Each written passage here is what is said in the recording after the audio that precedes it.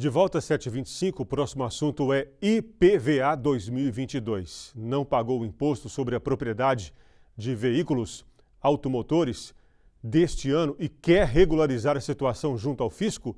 A Secretaria de Estado de Fazenda de Minas possibilita o pagamento da dívida em até 12 parcelas, desde que o valor de cada uma não seja inferior a 200 reais. O Miguel Braz está de volta com as informações que interessam muita gente, né, Miguel?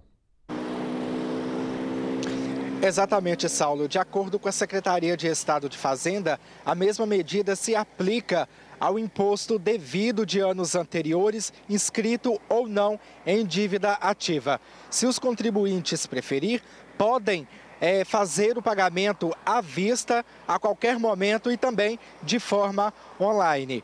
Para acessar o parcelamento do IPVA, a pessoa precisa acessar o site da Secretaria de Estado de Fazenda, tendo em mãos o CPF ou o CNPJ e o número do Renavan e fazer a simulação do pagamento.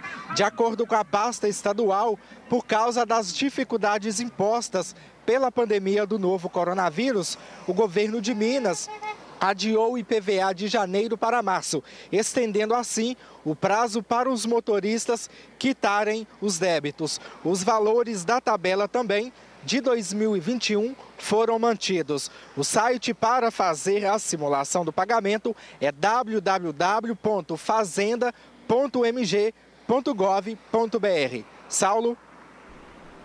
Obrigado, Miguel. Boa noite para você, um bom descanso, um bom fim de semana.